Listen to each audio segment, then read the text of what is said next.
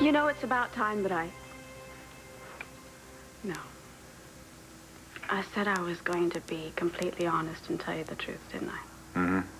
And that would be refreshing. I deserve that. Sarcasm and more, I'm sure. But I just don't know where to begin. Okay, let's start with uh, your relationship with Todd Manning. See? That's why you're the commish. Uh, you know, one minute you're about to take any job out there, any minimum wage job. The next thing, Todd hires you as his fashion editor and his right hand. And you don't believe that I was given that job based on my talent and abilities? I, I just think it might have been, had something to do with something else. You're right.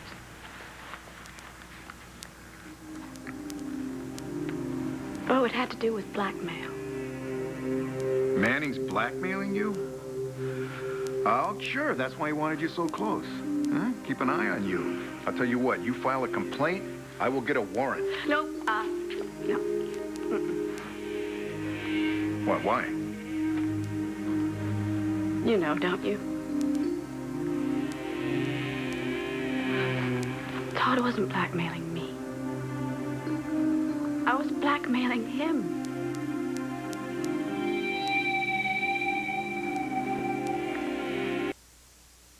You were blackmailing Manning. All I wanted was a job. I mean, no. I promised you the truth, didn't I? Yeah, yeah, you did. I wanted a lot more. I wanted respectability. I wanted a career. I wanted to be somebody. It all started, you see, when Max told me that he wanted nothing more to do with me. All right, but right, let's let's focus on blackmail. I'm, get, I'm getting to that. Okay. Al found out that the only reason I married your father was to hurt Max. And that's when he turned his back on me. And then Asa had his crescendo by throwing me out of the mansion. So I had no home, no love, and no son. No power, no importance, no self-respect. And then you stepped in. And you were the first person to show any real compassion to me since I come back to Llanview. Yeah, but let's face it, I, you know, I was trying to stick it to Asa, too. Still, if you hadn't offered me this place to stay, I would have been out on the streets. And I will never forget that, Bo. And all I asked in return was that uh, you get a job. And I tried. Two and three interviews a day. Do you have any idea how humiliating it is to be turned down over and over for jobs that are completely beneath your ability and capabilities? Yeah, I, I can imagine. And that interview was the last straw, you know, at the Silver Moon Boutique. And I didn't get that. Anyway, I was standing there thinking, how am I going to get any kind of position, you know, if I don't meet the right people? But, but how am I going to meet the right people wearing what I was wearing? Because when Asa threw me out, he threw me out in the very clothes I was wearing. And at that point, my pantyhose were all tattered. And that's when I decided to borrow that dress.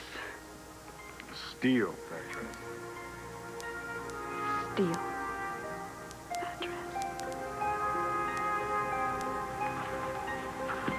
Steal that. Looking like a million bucks. At least looking like somebody who could afford another outfit. I decided to go to that um, gallery opening and try and meet some of Llanview's movers and shakers and get, get myself a career. It sounds like quite a plan. Except, you see, with my luck, the only movers and shakers that I met was this one con artist by the name of David Vickers. Oh, oh, man. Funny thing is, he thought he'd snagged a wit, a rich divorced woman. Yeah. Well, you know what? I'd heard that he would had passed through here again. So it, did he give you information that then you could use against Manning? Uh, not, not quite. You're, you're warm. Uh, at that point, I was, uh, I was at my wit's end, and I took a walk to the river, and I, I seriously considered throwing myself into the river. That's when I found you. W- Well, yes, uh, but before that, though, I'd happened on a meeting between Mr. Vickers and Todd. And that's when my luck turned around, because that's when I overheard what Todd had done. Oh, God, what's his latest? He told Blair that her baby had died.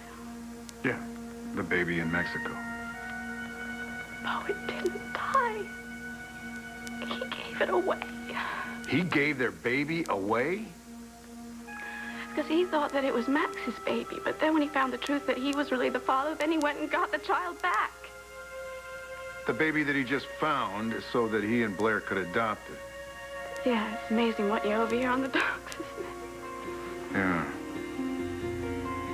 So that's what you were blackmailing Manning with. That's why he made you uh, fashion editor of The Sun. Yes. And to this day, Blair has no idea that Jack is the baby that she gave birth to in Mexico.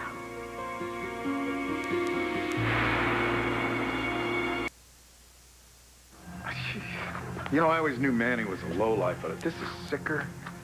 This, this is more cruel than anything that I ever even thought that he was capable of.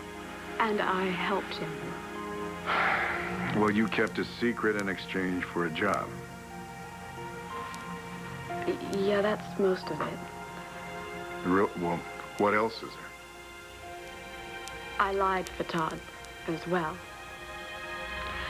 His son got ill with aplastic anemia, the same illness that little Starr had, and so he needed to find the original bone marrow donor. Alex Olanov. Alex. Alex. And Todd didn't want Blair to find out that Jack had it because Because aplastic anemia is so rare, and then she might have put two and two together. But she did find out, uh, except the way he got her to not believe that he was her biological son. Uh, well, I stepped in and convinced her that no, I was the new bone marrow donor. End of story? Yes, for my part at least. I'm in terrible trouble, aren't I? But whatever risk I've put our friendship in by telling you the truth, it was in an even greater risk if I'd kept lying to you, and I, I just couldn't do it anymore.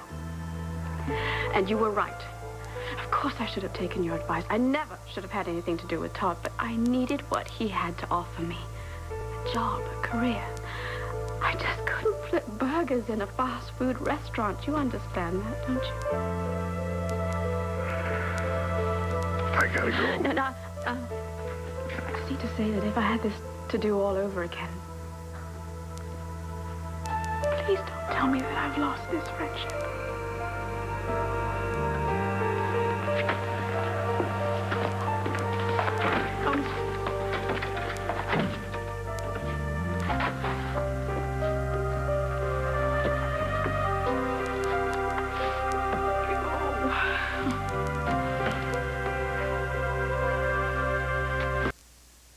Next week on One Life to Live. Oh my God, this is live. This is for real. Live. It's tough, man. It should be fun. Crazy things will happen. I'm hoping they'll let Todd sing. I'm looking very much forward to this. It's gonna be rock and roll. This is going to be Oh My God TV.